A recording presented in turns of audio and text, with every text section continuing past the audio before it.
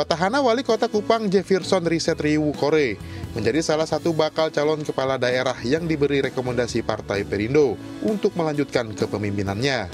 Rekomendasi juga diberikan kepada Samson Ricardo Atapari yang akan maju menjadi bakal calon Bupati Kabupaten Seram bagian barat Provinsi Maluku.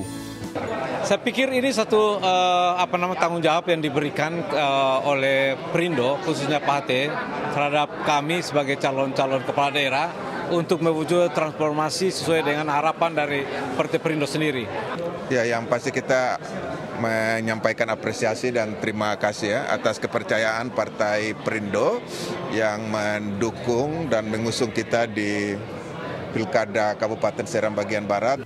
Dukungan juga diberikan kepada bakal calon wali kota Jayapura Abisai Rolo dan bakal calon Bupati Alor Immanuel Blegur yang akan membangun daerahnya menuju sejahtera. Uh, intinya adalah kesejahteraan masyarakat ya.